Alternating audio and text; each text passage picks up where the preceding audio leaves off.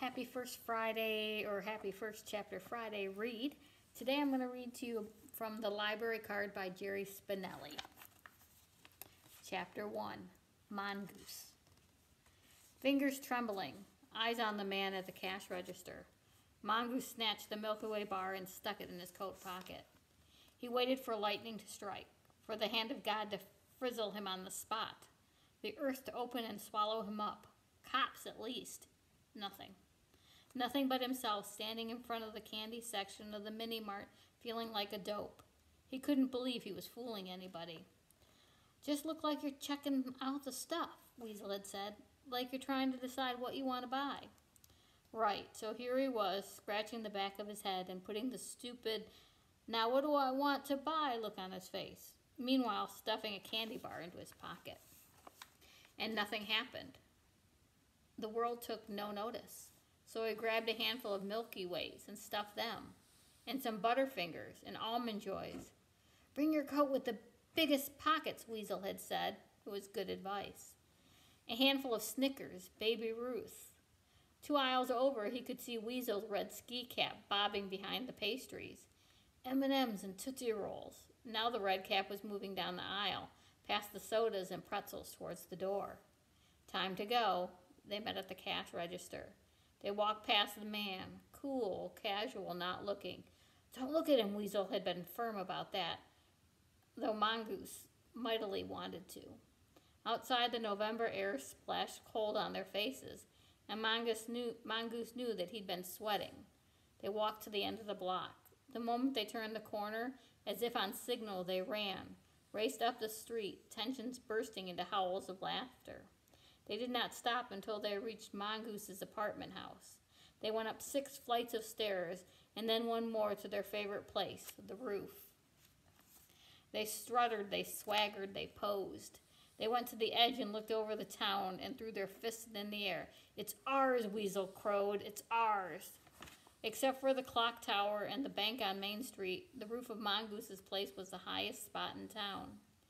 Mongoose, his arm still thrust into the night sky, turned to Weasel and said, What do you mean it's ours? Just what I said. If we can walk in there and walk out with half that stuff, we can do anything. Nothing can stop us. Weasel shouted to the rooftops, We ain't little no more. Mongoose grinned, Yeah. Weasel was right. That was the whole point of this night. The new names, everything. They were not little anymore. They had both had birthdays, their 12th, in October, and they both had begun to notice the same things happening.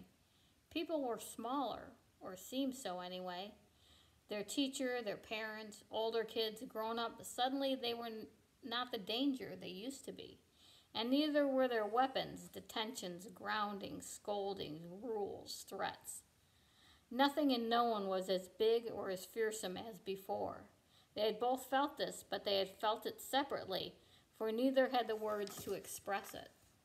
And then one day in school, the teacher called on Weasel during geography and asked him a question about Mexico, and Weasel said, I don't know. Now, Weasel was never the greatest student in the world, and had been saying, I don't know, to teachers for the past six, seven years, counting kindergarten, except he never really said it he mumbled it, I don't know, with his face somewhere down around his shoes. Mumbled it, mangled it, know. So bad it took each new teacher weeks to understand. Substitutes never did. And lo and behold, here was Weasel in November of sixth grade, straight as a drill sergeant, looking at the teacher and saying the same thing, the same thing he'd been saying all his life, only now saying it loud and clear as anything you'd hear on TV, proclaiming it. I don't know. The teacher, Mrs. Pocopson, blinked and even smiled a little, probably so shocked to hear the real words come out of his mouth. Normally, when Weasel said he didn't know, Mrs. Pocopson would ask someone else. This time she didn't. This time she took one step away from the blackboard and said, You don't know? No, said Weasel, almost calling it out, and then repeating it, I don't know. Stopping after each word. It was as if he just discovered language. and I never did. Mongoose heard snickers. He looked back and forth between the teacher and his best friend. He'd never seen Weasel sit so tall or so straight. Mrs. Pocopson's eyebrows practically shot up to her hairline. She blinked some more. Is that so? Yeah, said Weasel. And I probably never will. Snorts of laughter erupted. You're dead, thought Mongoose. But Weasel wasn't dead, only suspended. Mrs. Pocopson sent him to the principal's office, and after catching an earful of Weasel's new lip, the principal sent him packing for two days. It was like throwing Brer Rabbit into the briar patch. Weasel roamed around town, throwing candy wrappers in his wake, simmering in the juices of his new point of view, becoming Weasel. During morning recess on the second day, he showed up at the playground and was mobbed by students. Many wanted his autograph. On that day, Weasel returned. Mongoose was there when a little kid, a third or fourth grader, came up and shook his finger scoldingly and said, Oh, Bobby! So far, Weasel had become Weasel only to himself. The rest of the world still knew him as Bobby Morgan. Ooh, Bobby, you're going to get in trouble. You better be good. Weasel laughed and swatted the kid's finger away. I don't gotta be nothing. I ain't even here. The little kid planted his feet. He glared at Weasel. You are so here. Weasel wagged his head and grinned. No, I ain't. Not no more. He brushed the kid aside and walked into the classroom, leaving the kid baffled. Mongoose wasn't baffled. He understood why Weasel had wised off to the teacher. He thought he himself did not have the nerve to wise off.